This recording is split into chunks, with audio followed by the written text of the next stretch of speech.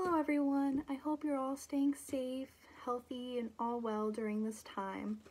In my last speech on discovering an issue with mental health, I started off by advising everyone to make sure to stay healthy, and by doing that, and by taking care of their physical health as well as their mental health while we are in quarantine. Um, so I would like to continue on this path with physical health versus mental health, mostly on mental health, because I believe a lot of people prioritize their physical health over their mental health when that really shouldn't be the case and should be treated equally. So again, um, the two are actually closely connected and therefore should not be treated as separate entities. Mental health plays a larger role in maintaining good physical health, but unfortunately, physical health is prioritized more than mental health, like I just said, and creating an imbalance for a person's well being.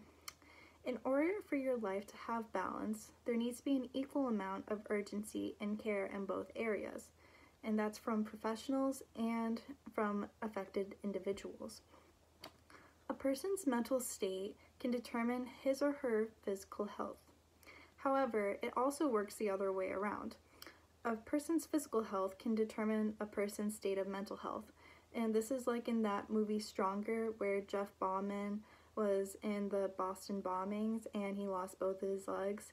And because of his um, physical disabilities with that and having to overcome losing both his legs, he developed a lot of mental problems with that and had to overcome that as well.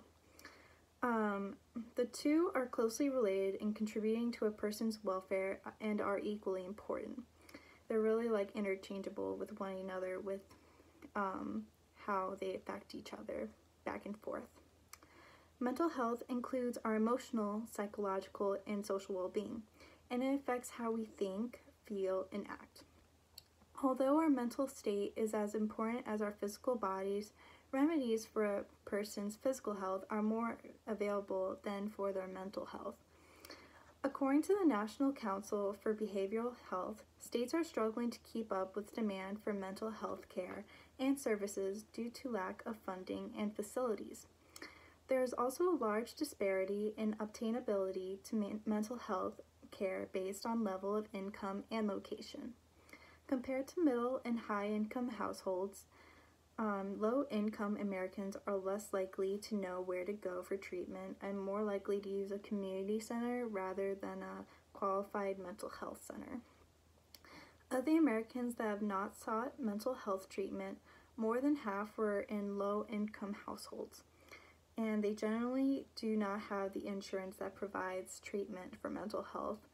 Um, and those living in rural areas rather than urban areas um, are also less likely to have access to mental health due to the lack of knowledge of it.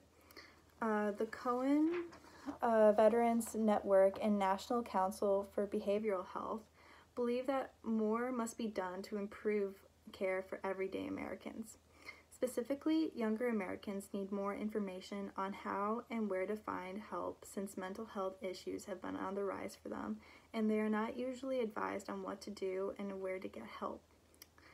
Um, the lack of discussing possible mental problems or wanting to address them is also due to the social stigma linked to mental health and mental illness. In historic writings, mental illness was viewed as a religious punishment or as a demonic possession of that person. This background on views of mental health issues started the negative stigma linked to mental health. People are afraid to be a part of a stigmatized group and be judged for it. According to the National Council for Behavioral Health, about one third of Americans have worried about others judging them when they have sought mental health services, and over a fifth have lied to avoid telling people they were seeking mental health services. Uh, with this instilled fear of being judged on their mental health, people are unable to get the help they need and are left to suffer. Access to care for physical care is important and more readily available, but access to mental health services is equally important but is very limited. In order to normalize discussing mental health struggles and reaching out for help, we should practice more empathy and understanding towards our loved ones as a society.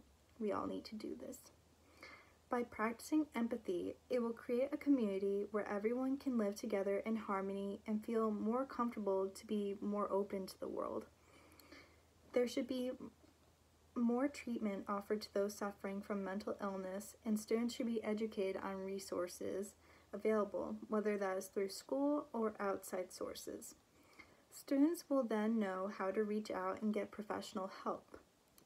But to stop the stigma, we should stop labeling and being insensitive towards those with mental health problems. Mental health is important at every stage of life, and that's from childhood and adolescence through adulthood, and it should be treated as such. Thank you so much and have a great day.